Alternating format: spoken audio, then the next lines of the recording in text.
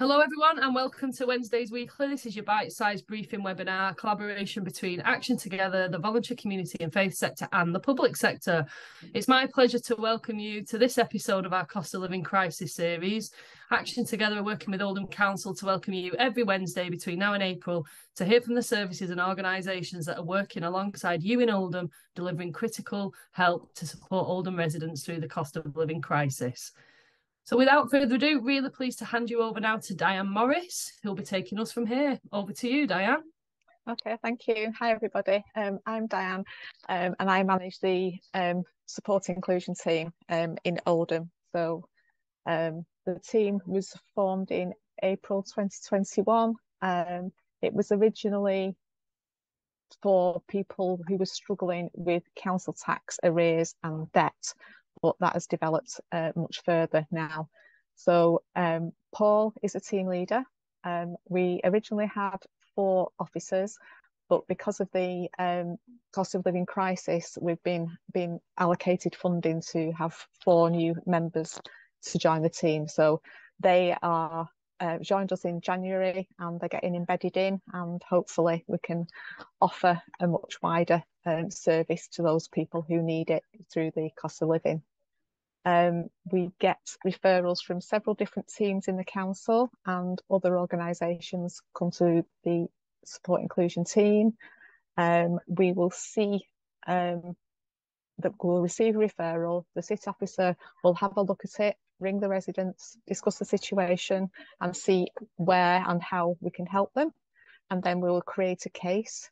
Um, we will have like um, the city officer will speak to the person, uh, work out their income and expenditure, um, see just see what we can do um, to help them regard the finances. So we are happy to take appointments over the phone or um, speak to them face to face. Currently, it's in Access Oldham or the libraries, and we're working towards meeting going to currently Failsworth Town Hall or Chadderton Town Hall, but all where the place-based um, teams or hubs are going to be. We're, we're happy to go and make an appointment to see um, the resident there. We look at um, you know whatever we can some of them are, are, quick win cases it's a case of reprofiling the council tax um, having a look at some of the debts that they've got and let, like leading letting them take responsibility for the for their own sort of finances and themselves but letting them know that we are there if they need to come back to us. There's others who take a longer um, time with the team and it's it's we listen to them. It's it's an, an holistic approach to um, where they find themselves at the moment with relation to debt um, and who we can help them with like um, welfare rights for um, go for DHP, go to citizens advice, and everything like that. So we, we are we are linked into quite a few of the other teams as well. Um, I think as you can see on the screen, the referral process, they come in from our helpline team, from the council tax team, debt recovery team. Um, and then we can also see um, from the outer that it's like positive steps, um, DV engagement team, adult social care. So any of the teams below on there, we are actively working with and do refer into people into the team where they think that we can help. Like I said, so we provide like low level budgeting support, um, help residents set up repayment plans for council tax arrears by liaising directly with the debt recovery team um, provide immediate help where we can. So if we identify an immediate need, um, then we'll happily provide um, hug vouchers, supermarket vouchers. Um, we can do food bank referrals and we can liaise with the warm home teams and provide fuel vouchers.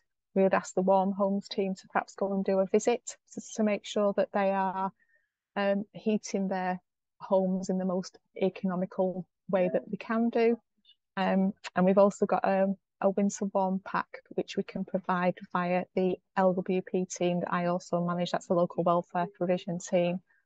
Um, and they are um, like radiator foils and things like that, a slow cooker, quilts, blankets, hot water bottles. So we are if we think a person can be identified as requiring a winter warm pack, then that's something that we can also to provide for them. But we would do it through speaking to the residents and, and trying to assess the need for, for, for which items. Um, it is all about actually listening to the person. Um, our intention is to try not to pass them on to somebody else if if if the remit is within our sort of capabilities. If it, like I say, it is it is lower level debt. If it's further on, that's when we have to go to citizens advice or people better qualified um, to deal with things like that. But we deal with um, the bailiffs, um, enforcement agents. We can bring, we, we try and negotiate to bring cases back from the bailiffs that we think we can work with and get a better payment so that we're, try, we're trying to get them out of a situation that isn't a, it isn't very nice to be in when you've got the bailiff going around asking you know wanting your goods and um or demanding a higher payment plan that you than you can pay. So we we'd work to negotiate with with the enforcement agents for the resident. Um so we currently have had 562 referrals into the system um, and the team are currently working with 138 open cases. We've resolved 307 cases, and fortunately for us, there is only 20 residents who have actually failed to engage following the referral, which we think is quite a good success rate. The uh, what we would do is we would still um, continue to try and engage with the person um, because it, you know, whatever they're going through, it might the time we we make the first call, it might not be a good time for them. So we can be persistent. Um, but there are times when we just have to think, you know, that that person just doesn't want to engage with us. And um, at, at, the time, they might come back through again and they might it might be in a different sort of state of mind to be able to be prepared to discuss the debts with us. Um, because sometimes there is, you have to get the confidence of the resident to be able to open up to you and to be able to talk through why they're in the situation, how they've got in the situation, um, and to show them that there really is somebody out there that can help them. So we have a case study where this lady, she had council tax arrears of over £3,000, which was frightening for her in itself. Um, so we set up an attachment of benefit on her council tax accounts, so arrears were paid off and no further charges were applied we referred the lady to the welfare rights team who helped challenge a DWP PIP decision. Um, we got her into, into onto free school meals. Um, we've encouraged residents to address utility debt and, and with the possibility of an energy grant. We've signposted it to the bread and butter thing to help feed the family and we made sure that the resident was registered with the Healthy Start scheme for help to buy food and milk. So you can see it's not just a a single thing. We don't, you know, we do, we do like the holistic thing where where can we help this person? How can we help this person? Um. So, case study number two. excuse me. The resident mentioned she will experience some financial difficulties and some debt, particularly with energy supply suppliers um, to Opal um, which is the Oldham Personal Advocacy Limited.